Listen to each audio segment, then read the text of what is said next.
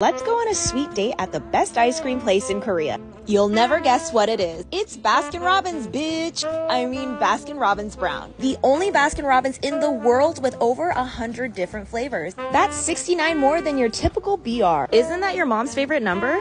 When you enter, there's a celebrity wall with pink spoons signed by every member of Blackpink and Twice, and other ridiculous perks like a photo booth, claw machine, ice cream mochi, ice cream bubble pops, ice cream macarons, and the most flamboyant ice cream cakes your parents would never buy you for your birthday. There's also a coffee shop and ice cream freaking pizza.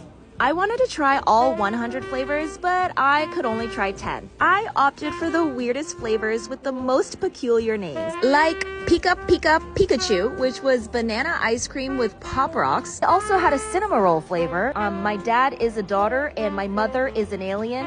Who comes up with these names? And finally, this black sorbet that turned my mouth black.